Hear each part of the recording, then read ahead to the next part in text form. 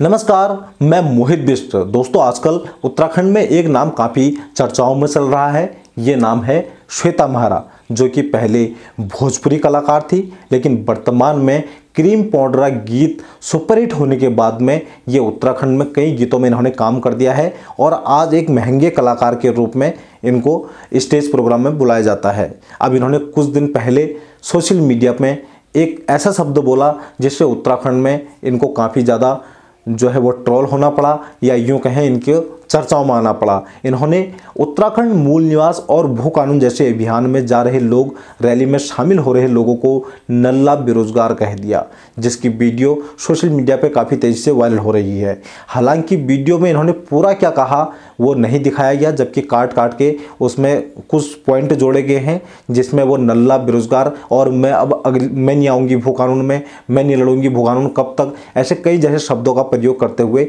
नज़र आ रही ताकि आपने वीडियो देखा भी होगा, हम आपको वीडियो भी दिखा भी देते हैं। तुम नल्ले बेरोजगार है, हम तो नहीं है ना भाई। सब जगह एक ही टॉपिक है भू कानून भू कानून भू कानून उसके अलावा कोई दूसरा टॉपिक नहीं है। भू कानून के ऊपर मैं अब आवाज़ नहीं उठाऊँगी, क्योंकि मुझे जितनी आवाज़ उठानी थी, मैंने उठा दी है। ज़मीन का क्या करोगे?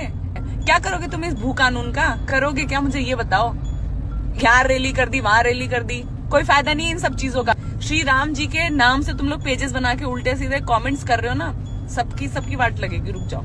ये सारे उठपटांग कमेंट्स करने वाले सब वही हैं जो जितने बच्चे भी ये रैली में जा रहे हैं ठीक है? इन लोगों को कोई काम धंधा नहीं है। तुम नल्ले बेरोजगार है हम तो नहीं। जब ये मामला काफ़ी तेज़ी से गर्मी हुआ तो इनके ऊपर में कल एफआईआर भी दर्ज कर दी गई है जिसके बाद में इन्होंने लाइव वीडियो के माध्यम से लोगों से माफ़ी भी मांगी है। मेरे जो शब्द थे किसी को ठेस पहुँचाए गए उसके लिए आई एम रियली सॉरी लेकिन वापिस यही बोलूँगी, वो शब्द आम जनता के लिए नहीं थे। वो साफ़ साफ़ जो शब्द बोले गए हैं, वो सिर्फ़ ये ट्रॉलर्स के लिए थे और जो भू कानून की आड़ में हम सब लड़कियों को गाली दे रहे हैं और कहा है कि इन्होंने कभी भी मूल न्यास और भू कानून का खिलाफ नहीं है। और जबकि जो इन्होंने जो शब्द बोले गए हैं, वो इसलिए बोले गए ताकि लोगों ने इनको जो ट्रोल किया, इनको लोगों ने ये कहा कि आप मुजरा करती हैं, आप नसनिया हैं, इसलिए गुस्सा होके इन्होंने ऐसे शब्दों का प्रयोग किया।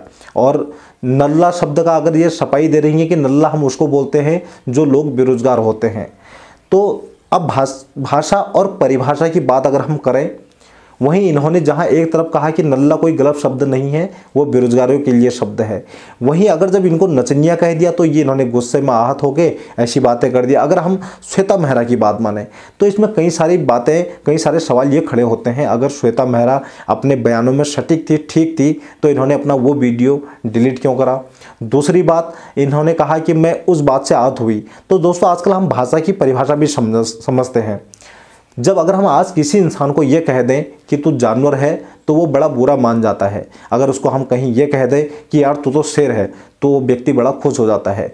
वहीं अगर हम आज इन कलाकारों को जो स्टेज प्रोग्राम करते हैं, जो लोगों के सामने नृत्य करके उनका मनोरंजन करते हैं, अगर उनको हम नचनिया बोल दें तो इनको बड़ा बुरा लग जाता है। वहीं अगर हम इनको कलाकार बोलें तो ये बड़ा खुश हो जाता है। जबकि परिभाषा एक ही है, बस उसके बोलने के अंतर अलग अलग हैं।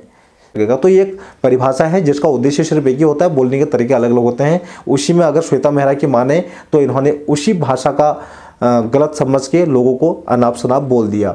तो दूसरी बात तो ये है दोस्तों, और तीसरी बात अब ये है, श्वेता मेहरा जी कह रही है कि इनको कई लोगों ने अनाप शनाप कहा क्या उनके घर में माँ बहन नहीं क्या आपके घर में माँ बहन नहीं है? ऐसे कई शब्दों का वो कल अपनी लाइव वीडियो में शब्दों का इस्तेमाल कर रही थी और कह रही थी। तो सबसे बड़ी बात यह है, जब श्वेता मेहरा जी से हमारा भी निवेदन है, अगर आपको कोई परेशान कर रहा है, आपको कोई गाली गलौज करता है, आप शब्द कहता है तो आप स्वतंत्र हैं, आप पुलिस प्रशासन का सहारा ले सकती हैं, आप इनके ऊपर में एफ़ दर्ज करा सकती हैं। इस, और जब आप इनके ऊपर एफआईआर दर्ज नहीं कर रही हैं, आप इनको पुलिस में इनको नहीं घिसटना चाहती, लेकिन आप वहीं पूरे उत्तराखंड का समाज, जो समाज आपने लिए नहीं, बल्कि अपने आने वाले भविष्यों के लिए लड़ रहा है, उसको आप नाप शनाप कह रही हैं। ये कहीं से कहीं तक एक कलाकार को शोभा नहीं देता है। और दूसरी बात, अगर हम इसको दूसरे एंगल से भी देखें तो ये कहीं ना कहीं एक पब्लिसिटी स्टंट भी हो सकता है, क्योंकि मामला अभी गर्म था। और अगर ऐसे बेतुके बयान दे दो तो इससे ज़्यादा क्या होगा? एक पब्लिसिटी इनको मिलेगी, जिससे लोग इनको जानेंगे। कई बार ऐसा होता है, जब लोग कोई चीज़ लोहा गर्म होता है तो उसमें हथौड़ा मारने की हर कोई सोचता है। तो हो सकता है पब्लिसिटी स्टंट के लिए भी श्वेता मेहरा ने भी ये किया हो। खैर, फ़िलहाल उन्होंने सभी लोगों से माफ़ी भी मांगी है, और आपकी क्या राय है? क्या जो श्वेता मेहरा ने कहा, वो ठीक था? और क्या जो इनको लोग परेशान कर रहे हैं, वो ठीक है? ये तमाम सवाल आपसे भी हैं, और आप हमें कमेंट बॉक्स में दीजिए कि वास्तविक में है क्या मामला।